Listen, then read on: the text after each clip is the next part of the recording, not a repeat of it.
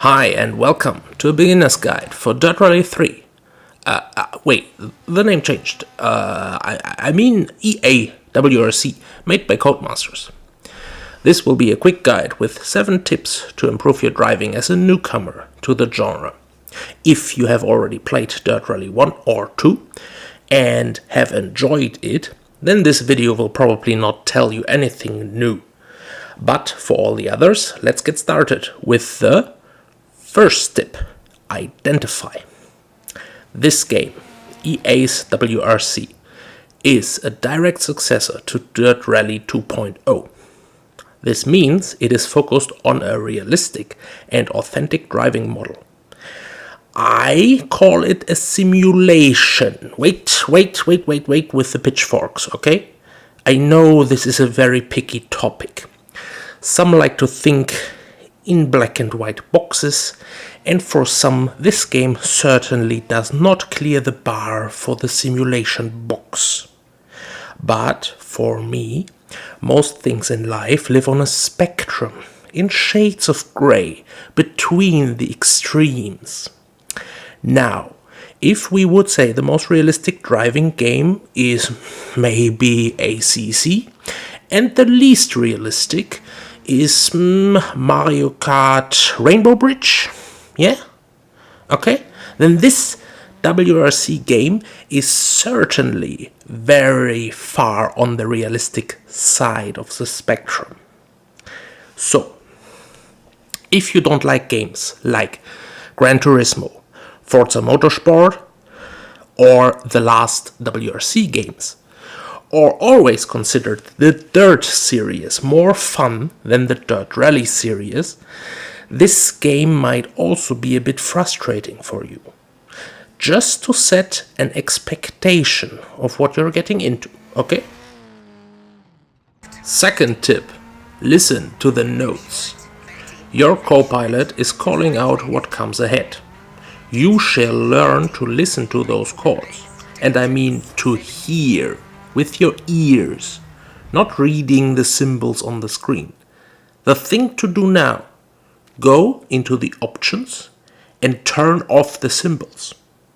Why? Because your brain can multitask easier if those tasks are on different senses. You need your eyes for driving. Don't overload them with something else besides driving. Train your ears to be the only sense responsible for the co-pilot. This way, your brain has a much easier time multitasking both things to understand the cause while also driving the car. If you want to take this one step further, you can get a force feedback wheel, which lets you train your arms to feel what the front wheels are doing, rather than only relying on your eyes. The more you distribute the things to do between your sensory inputs, the easier it is to process them all. Tip number three too early. Now, on asphalt, you would try to drive smooth lines, like on rails. But on loose surfaces like gravel or snow, you got very little grip. There is a point when it becomes faster to slide through corners rather than to roll through them. But when sliding, you are steering in a different way. To initiate a slide, you start to turn while you are still on the straight bit of the road. But once in the slide, your steering input is very very small for keeping the angle good. This means on loose surfaces, your wheel, your steering wheel, turns actually before a corner but is often kept straight while you are in the corner. If you are only used to racing on asphalt so far, this requires some practice to get used to. Try to turn in earlier than you would normally do, and to try again and again to find the hang of it, how early before a corner you have to turn in on loose surface. The driving style on gravel is just different than on tarmac and requires practice. Fourth tip mental road. As mentioned, you will train to hear your co pilot's notes. To get really good, you can also try to separate these tasks even more. To drive the car on the current bit of road, but at the same time, build a mental road in your head that is always around two corners ahead of your uh, current location. Your listening will constantly build this mental road, and your muscles and eyes drive according to what they expect from this mental road. With this technique, it will allow you to drive faster through corner combinations and to know what's ahead.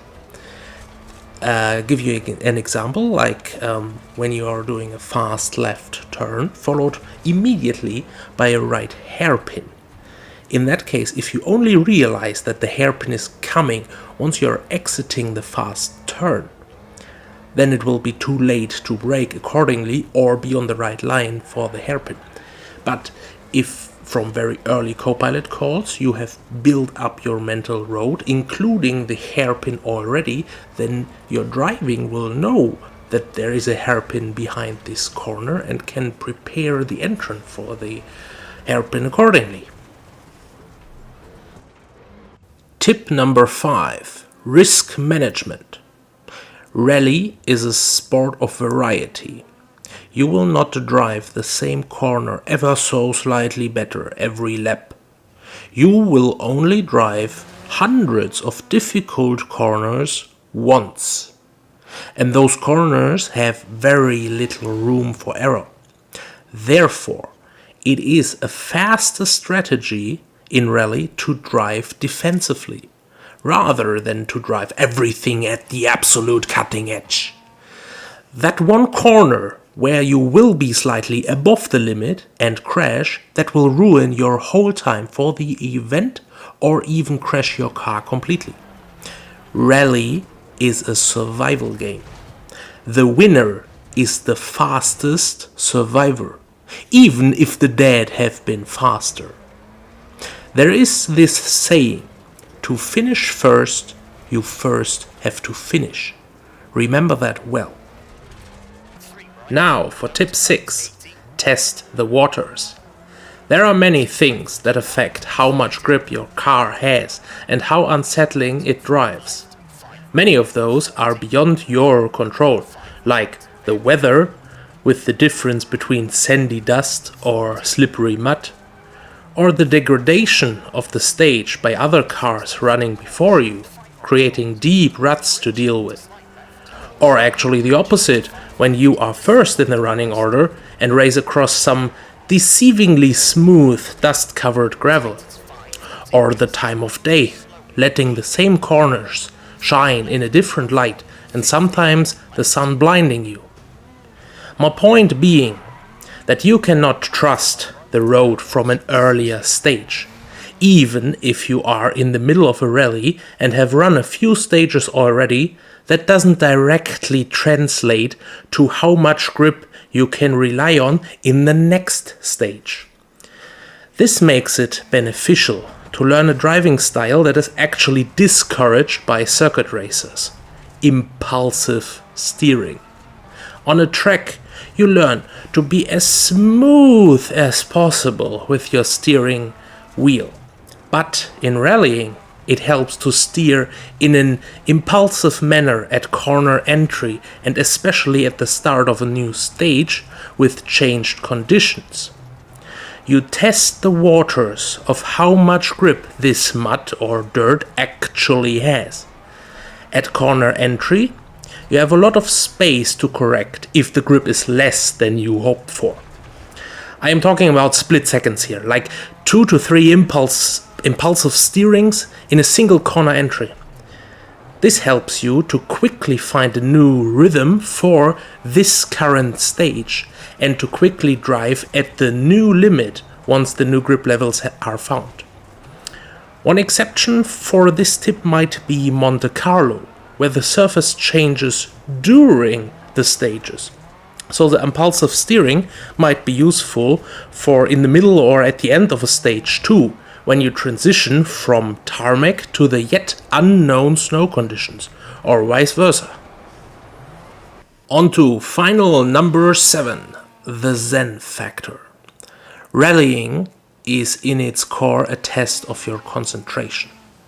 In circuit racing, you often got some long straight every lap where you just can mentally breathe for a moment, pedal to the metal, going just straight, and then concentrate for the next lap. In rallying, this is not a thing. And this game has by far the longest stages ever in the Dirt Rally series. Yes, I still mentally see this as Dirt Rally 3. Whereas in the last game, you got about 11 kilometers as the longest stages.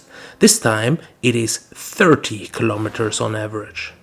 That is almost triple the time you need to drive those long stretches, requiring non stop concentration, well over 20 minutes in duration most crashes happen because you got out of flow, out of touch with the nodes, or were distracted for a split second. That's why this tip is about your launch ritual. Focus deliberately. Don't just go into it, click, click, vroom, vroom, go.